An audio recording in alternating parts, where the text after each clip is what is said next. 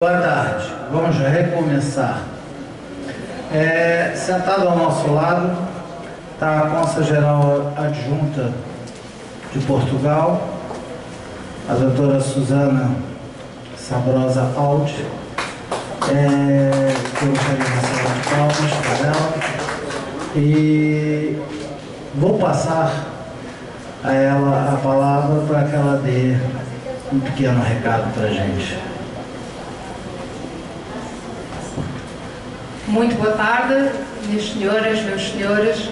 Queria agradecer aqui ao Sr. Governador Maurício Eloy Silva o convite que dirigiu ao Consulado-Geral de Portugal no Rio de Janeiro para estar aqui presente hoje. Eu estou aqui em representação do Sr. Consul-Geral, Dr. Nuno Belo, que envia um abraço muito caloroso a todos vocês. Eu queria dar os parabéns e agradecer à Associação dos Lions todo o trabalho que tem vindo a desenvolver, em particular no Brasil e na relação com Portugal, e muito em especial a iniciativa deste fórum, que vai na sua segunda edição, certo?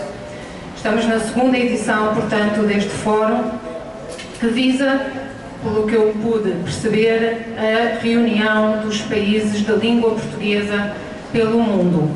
E, portanto, a língua portuguesa é um património de todos nós e é um património muito estimado por nós portugueses e sei que também por, pelos brasileiros, uma vez que é o país no mundo com o maior número de falantes de língua portuguesa. E, portanto, tudo o que envolva a difusão da língua portuguesa e a união dos países de língua portuguesa pelo mundo seguramente tem o apoio do nosso consulado e quero aqui dizer que estamos à disposição para colaborar no que for necessário, tendo em vista a proteção, a difusão deste nosso grande património, incluindo um objetivo que julgo que é transversal tanto aos Lions como a várias outras entidades, incluindo Portugal, que a nossa língua seja Esperemos que um dia e em breve eh, uma língua oficial de trabalho nas Nações Unidas. Esperemos que isto possa ser concretizado no curto, médio prazo.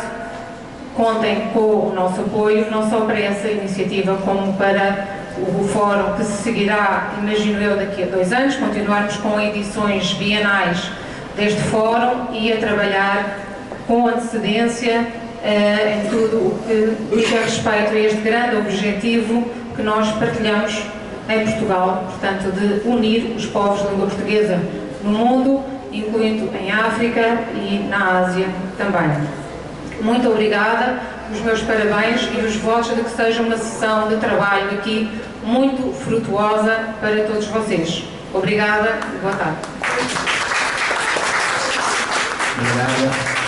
É, eu acho importante, antes de nós darmos continuidade, que eu vou passar a coordenação desse fórum ao doutor Romeu, que está aqui.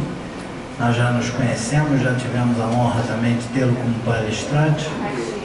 É, o que eu acho importante, que nós estamos até discutindo no almoço, ali com a doutora Suzana, é que nós comecemos a divulgar mais, dar mais ênfase ao nosso fórum junto aos outros países da língua portuguesa.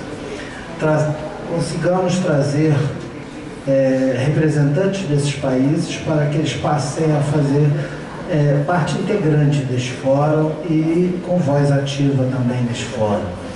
É, sabemos que nós e Portugal somos os países que mais falamos a língua portuguesa, como a população, mas os outros países também têm grande representatividade. E nós achamos que nosso lema, a doutora Suzana entendeu que eu vou falar, nosso lema é unir para fortalecer.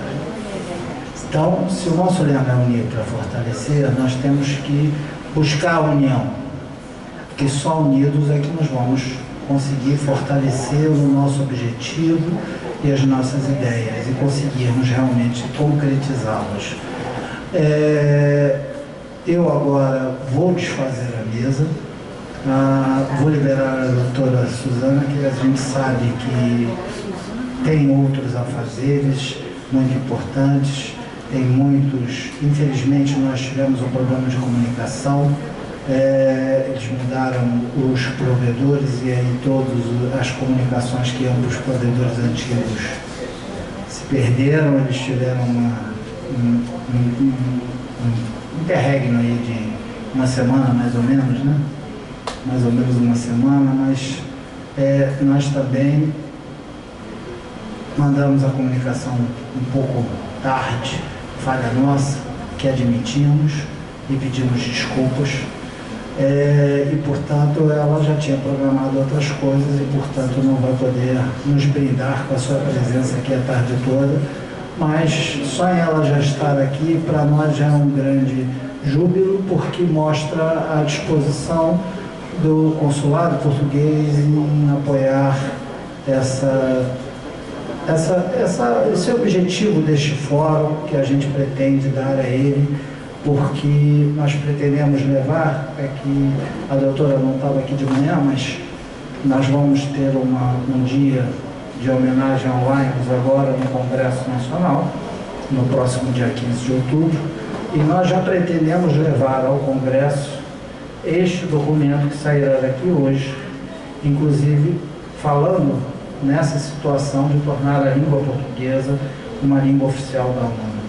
É, nós vamos levar, vamos encaminhar para todos os governadores do Brasil, que somos 28 no Brasil, somos 28 governadores Lagos, nós vamos encaminhar esse documento para todos eles, para que eles façam chegar às suas assembleias legislativas dos seus estados, para que elas também façam pressão junto ao Itamaraty e ao ao, ao próprio Congresso Nacional para que eles envidem esforços junto conosco para fazermos isso. Por outro lado, nós teremos a nossa querida governadora, ano 2012 2013, Selma Aragão, que vai nos representar na ONU, no dia da ONU, dia do Lions na ONU, porque é uma nossa associação é, tem assento na Assembleia Geral da ONU e ela vai, eles dedicam um dia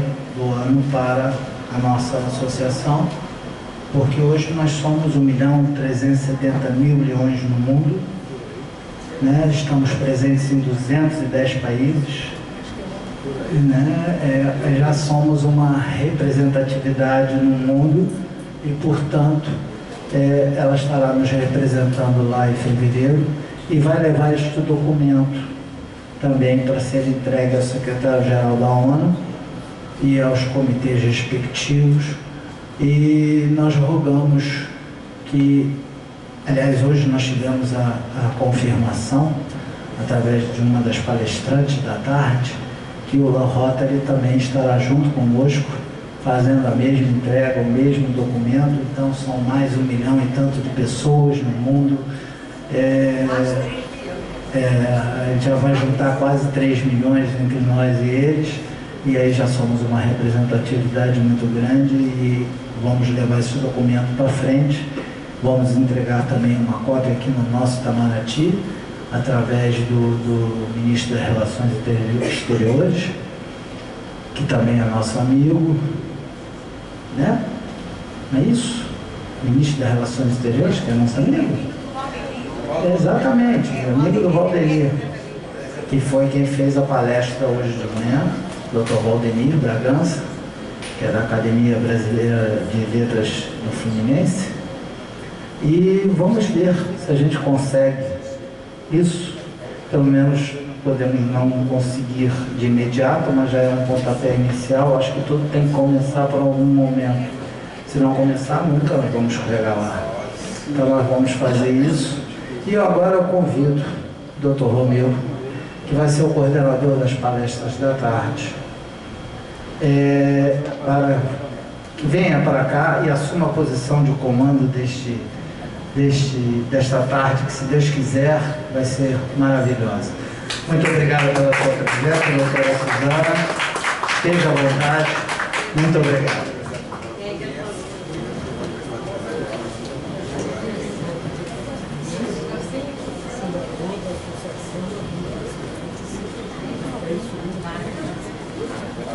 Suzana.